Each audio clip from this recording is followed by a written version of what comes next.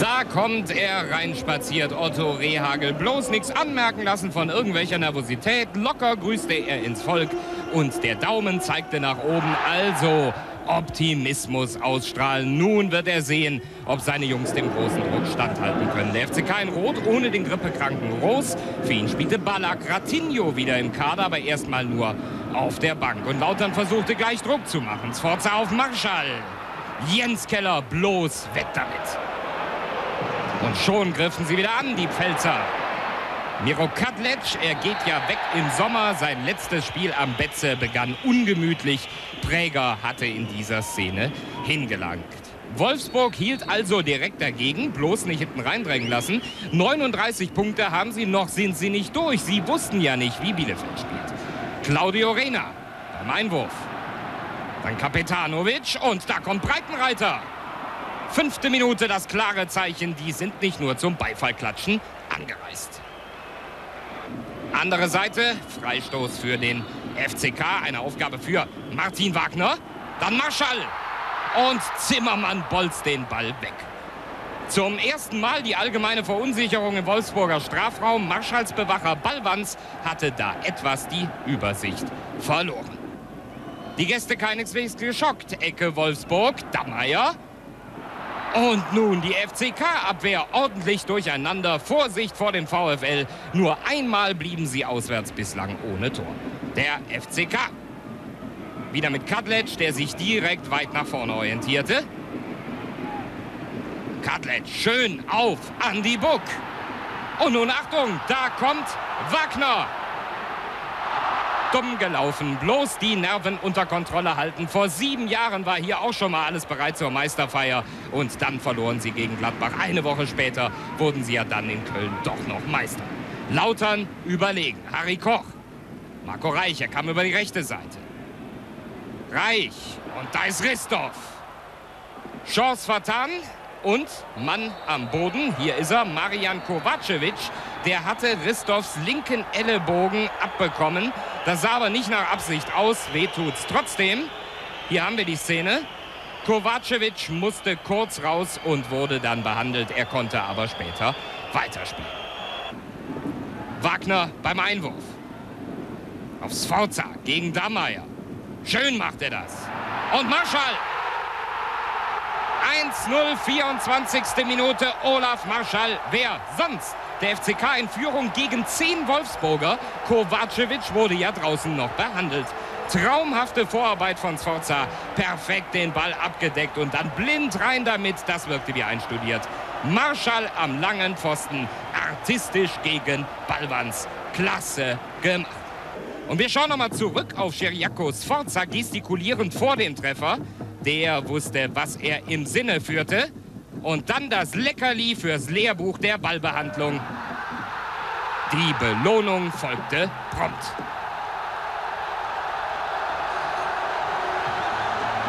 Der Blick an die Linie, der Blick auf Otto. 1-0 Führung. Er nahm es relativ gelassen. Und die Fans? Die feierten die Führung. Egal was die Bayern machen, raus müssen die Emotionen. 1 zu 0 für den ersten FC Kaiserslautern nach 24 Minuten. Die Pfalz jubelt und setzt auf den MSV Thomas Hermann bitte. Der FCK ist stark und er allen voran. Macht Marschall Lautern etwa zum Meister? Wieder mal hat er getroffen, wieder so ein wichtiges Tor. Insgesamt sein 19. Saisontreffer und das bei wohlgemerkt nur 23 Einsätzen. Sforza, sie machten weiter Druck, jetzt nur nicht nachlassen. Dann Martin Wagner, er spielte bis jetzt sehr gut. Wieder so ein schöner weiter Ball. Und dann im Strafraum wieder dieser Marschall. Da ist er. Und Christoph kommt dazu, aber Zimmermann mit Mühe hat er den Ball. Es bleibt dabei 1-0. Beruhigend ist das noch nicht für den FCK. Und Wolfsburg musste ja eigentlich kommen. Die dachten, mit ihren 39 Punkten sind sie noch nicht gerettet. Breitenreiter. Schön auf Roy Präger. Dann Greiner, der Ex-Lauterer. Und dann Reinke gegen Rena. Was für ein Fehler. Dammerer bleibt hängen. Und dann kommt Kapetanovic. Chance vergeben, aber das Ding war hier noch lange nicht gegessen. Das Spiel lebte von der Spannung, hochklassig war es nicht gerade. Der FCK war wieder. Sforza. Dann Ristov gegen Kovacevic. Und jetzt kein Pfiff. Schiedsrichter Jürgen Jansen ließ das Spiel weiterlaufen. Das war hart an der Grenze, aber ich meine, es war in Ordnung, hier weiterlaufen zu lassen. Ristov legte sich da auch mächtig nach hinten. Also kein Elfmeter. Und wir schauen mal wieder an die Seitenlinie und hören mal, was Otto zu sagen hat. Fußballmensch! Spielt Fußballmensch, hat er gesagt. Recht hat er, seine Mannschaft war überlegen, aber das Spiel zerfahren von Nervosität geprägt. Diese Szene belegt das. Ein Heiden-Durcheinander, ja, bei beiden Teams. Und dann der Bodycheck von Schönberg gegen Präger. Die Folge gelb, seine fünfte. Wie bitter, er fehlt in Hamburg. Aber was heißt hier bitter? Vielleicht ist ja dann sogar schon alles entschieden. Im Moment wäre es so, im Moment wäre Lautern Meister. Auf nach Duisburg zu Thomas Hermann. Das Mäuschen ist wieder gesund. Sechs Wochen lang fehlte Ratinho und nun durfte er wieder ran. Zur zweiten Hälfte brachte Otto den flinken Brasilianer. Er kam für Marco Reich ins Spiel. 8 zu 3 Torschüsse für den FCK in der ersten Spielhälfte, aber halt nur ein Tor. Beileibe kein dickes Polster. Und sie kamen raus aus der Kabine und machten Dampf. Wagner, schön auf Marschall. Marschall Zimmermann hat aufgepasst, aber da kommt noch mal Wagner. Ballwand zu spät. Martin Wagner, 52. Minute. 2 zu 0. Der Betze bebt. Und Schiri Jansen, der lief davon, weil die Wolfsburger abseits reklamierten.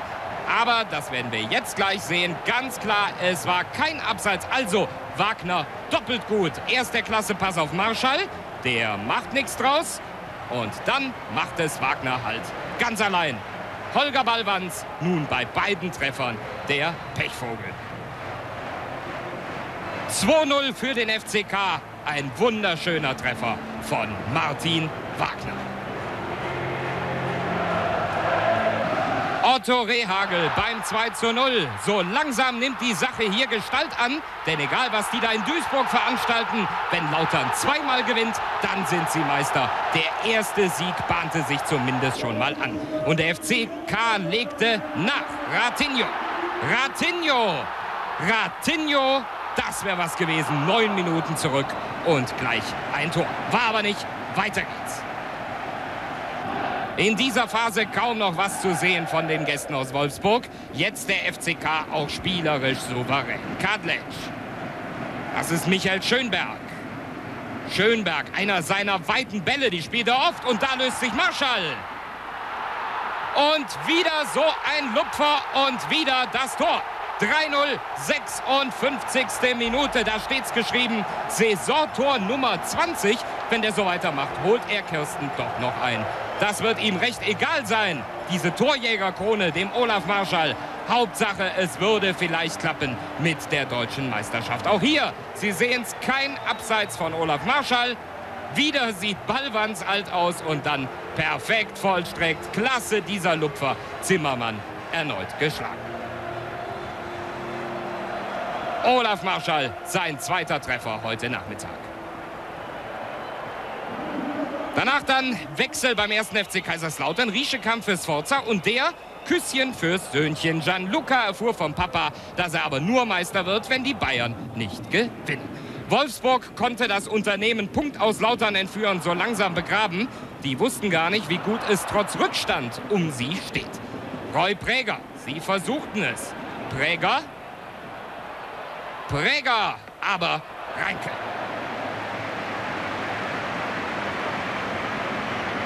Der Blick auf VfL-Trainer Wolfgang Wolf. Zehn Jahre Spieler beim FCK, Mitglied beim FCK. Natürlich wünscht er Lautern den Titel, aber doch nicht auf seine Kosten. Ob der wusste, wie es mittlerweile in Bielefeld steht? Otto nahm Marschall raus. Erstens, das 3 zu 0 recht beruhigend. Und zweitens, der hat vier gelbe Karten. Nicht, dass der auch noch fehlt beim letzten Spiel in Hamburg. Die letzten Minuten laufen schon. Ratinho nochmal. Ratinho. Harry Koch. Rische. 4 zu 0, 88. Minute. Tja, der genießt's. Das Ding war nun hier endgültig gegessen.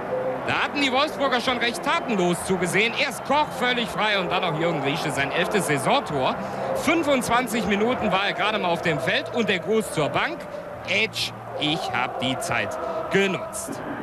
Die letzten Sekunden im Fritz-Walter-Stadion 4 zu 0. Dabei blieb es. Der abfändelt eben. Hier wusste wirklich keiner, wie es denn nun in Duisburg steht. Das Spiel zu Ende. Otto beruhigte erstmal, freut euch nicht zu früh. Wann wird der Abpfiff aus der Wedau gemeldet? Noch rund fünf Sekunden.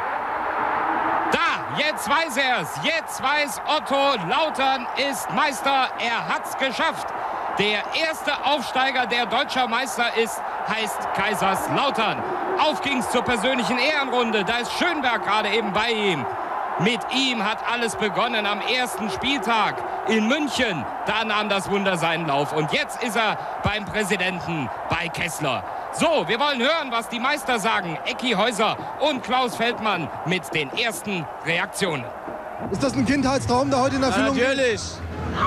Jeder Fußballer will deutscher Meister werden und das mit meinem Verein hier, Kaiserslautern, das ist ein Traum und ich darf sogar mitspielen.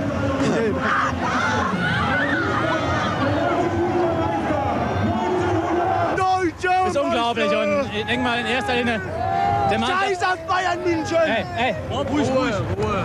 Im Endeffekt in erster Linie muss man mal einen Dank nach Duisburg schicken, weil sie sag mal, im Gegensatz zu dem, was der Trainer gesagt hat vor dem Spiel, haben sie den Punkt geholt und vielen, vielen Dank. Und was passiert denn in Ihnen selbst? Hüpft da das Herz?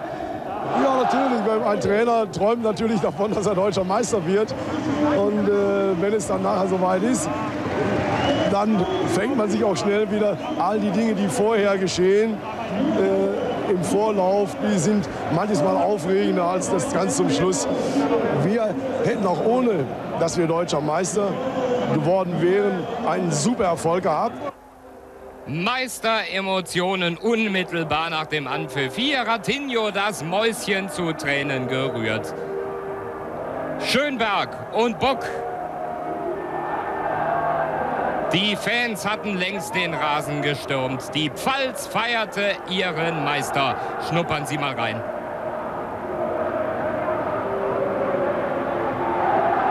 Bei uns das Trainerpaar des Wochenendes. Ich würde eher sagen, das Trainerpaar des Jahres. Beate Rehagel, Otto Rehagel, erstmal herzlichen Glückwunsch zur deutschen Meisterschaft. Ja?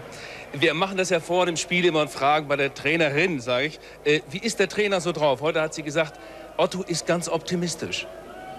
Ich hatte ihn heute noch gar nicht gesehen, weil er war ja im Trainingslager gestern erst mal. Aber ich muss sagen, ich hatte eigentlich das Gefühl, er ist ziemlich ruhig und gelassen. Mhm. Äh, Otto, während des Spiels und auch so in den letzten Sekunden, wie paralysiert, voll konzentriert, als wenn Sie es nicht gewusst hätten, dass Sie jetzt deutscher Meister werden.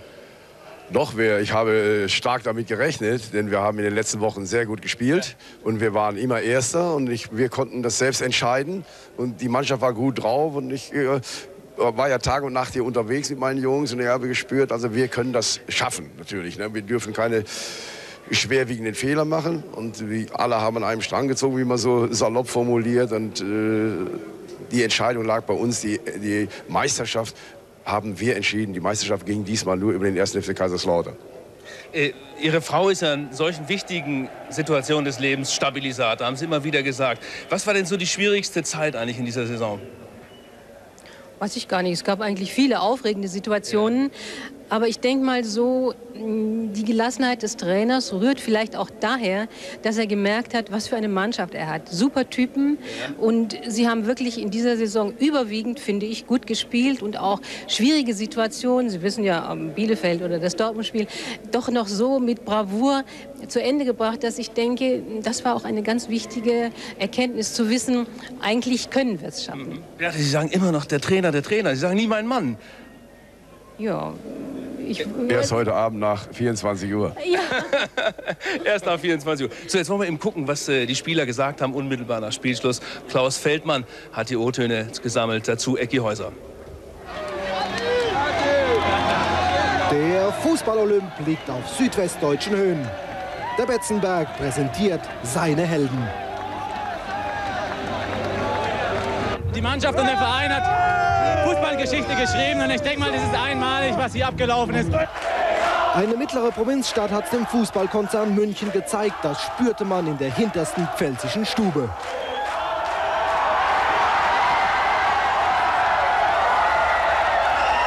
ganze Mannschaft ist mit dem Herz dabei und ich bin auch ein Typ, wo ich bin sehr sensibel und bei jeder äh, solche Situation, wo die, die, Menschen Freude sind und ich gebe ich bin unheimliche Freude und breche mein Herz in vier, fünf Teile. Kann man das noch toppen? Ja. Ja gut, wir sind deutscher Meister geworden. Hinein in die Glückseligkeit einer Mannschaft, die immer Zusammenhalt und Teamgeist gepriesen hat. Schönberg und Buck, piep, piep, piep, sie haben sich alle lieb. Das ist der Pfälzer Rhythmus, bei dem auch Otto mit muss. Es gibt aber auch nachdenkliche deutsche Meister. Überlegt man dann nicht doch, noch hier zu bleiben? Auf jeden Fall, aber ich habe mich schon so früher schon so entschieden, das kann man nichts machen. Und wie lange feiern Sie jetzt? Ganze Woche.